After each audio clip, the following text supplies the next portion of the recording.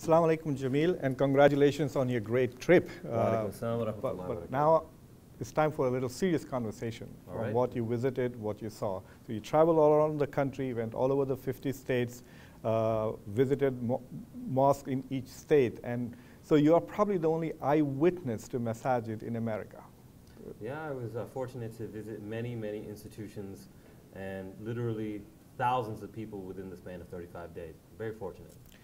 The, the, the nature of the American Muslim community is such that uh, institutionally it's very impoverished in the sense that we, have very few institutions other than the mosques. So wherever there is a Muslim community, you have a masjid, a halal meat store, and then maybe an Islamic school. So given the fact that the mosque is uh, such a fundamental element of Muslim communities in the US, uh, the mosque is a kind of a mirror of the Muslim community there. So tell us what kind of Muslim communities do you think these mosques are producing? Well, I mean, you said it most eloquently that we are very much within the infancy of establishing our institutions. And I had mentioned this in many of my speeches that, you know, we had been here for a very long time, but in different phases with different agendas. So predating Columbus and then the enslaved Africans, the civil rights movement, more recently, the immigrants, and they are the ones who are pretty much credited and charged with building these institutions. Although they're, they're limited, they're still within the infancy of their development. And so when we talk about what type of communities that they're producing, they're producing communities, you know, that actually are attracting people to them only and simply because it is the house of God. You know, so when someone comes into a community, they are obviously going to attach themselves and affiliate themselves with the masajids first and foremost. But we're way, way behind with regards to organizational uh, development. For instance, you know, right now it's still unclear with regards to what is the role of the imam. Right, he's wearing 50 different hats.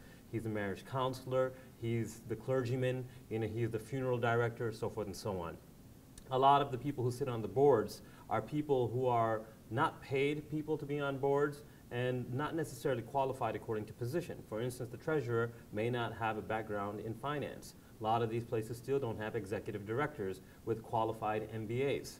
Right? So because of that, you've got a lot of people who are doing things based upon their own intellectual capacity, or maybe they're bringing baggage from their old countries back here, and because of that, the development, I think, is stunted to a certain degree.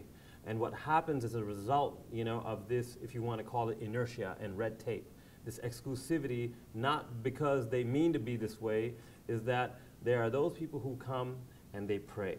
And that's all their involvement is. Then you have those type of individuals who do want to make a stake as far as leadership is concerned within these organizations. And then those people who try to get in, but then they get blocked, and then essentially they're on the fringes. Yes, I mean, the mosques do start as, I, I like to think of them as necessary service providers. That's how they begin, by providing necessary service.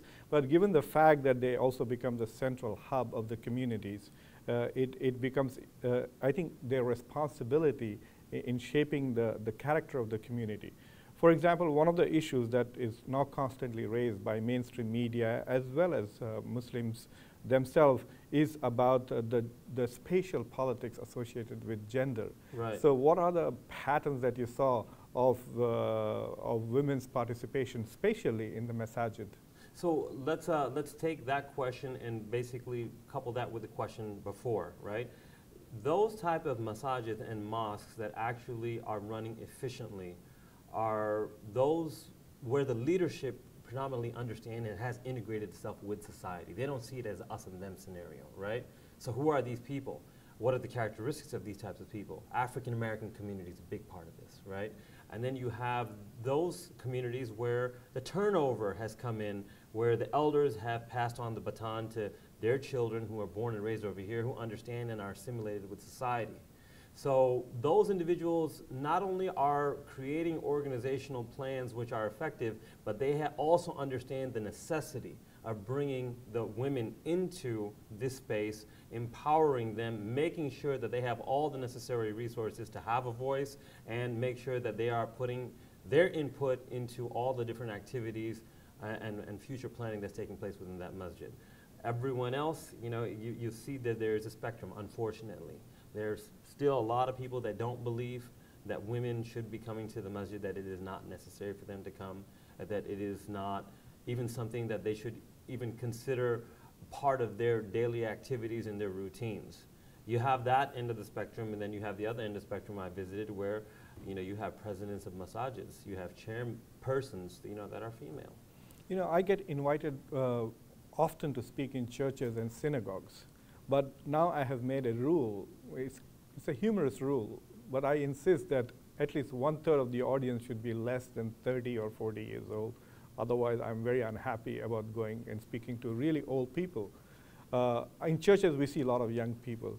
But when you went to these mosques, did you see to what extent were the youth involved in, in activities of the mosque, in planning, uh, in programming, other than attending the Friday prayers, or if they are too young to resist their parents uh, bringing them to Sunday school. I mean, besides that, do you see them actively involved in, in the life uh, the spiritual life of the masajid. And it comes back to the culture of that masjid that, and the tone that the leadership sets from the beginning, right? If they understand their role as individuals who are trying to establish something and they have to apprentice people underneath them to take over and you prep them, then yes, you see a lot of you know, leaders nowadays who are young people in their 30s and their 40s, born and raised over here, whatever the case may be, because that's what the leadership has prepped them to be.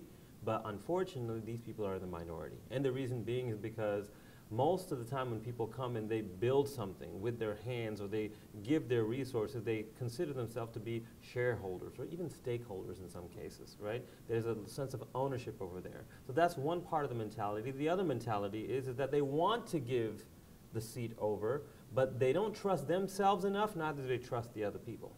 So when that happens, you have these people who are holding on for dear life to their chairs, right? And when they realize that they cannot physically move forward anymore, then they want to pass on the baton. Guess what? Those people, the younger children, or who were the children at that point, the next generation, don't want to have anything to do with it. Why? Because you have excluded them. They have tried, and you have excluded them. So now they're too busy building their own lives. You know, they're young professionals, they're trying to build a family, pay off their mortgage, save up for college education, and they have other things to do. So unfortunately, this is happening more often, you know, than the latter that I had just described to you. Thank you very much, Jamil. It was very enlightening listening to you. Thank you. He's not just a 50 mosque man, but I think he is also a witness to Islam in America. Thank yes. you. Thank you kindly for having me. We were on time.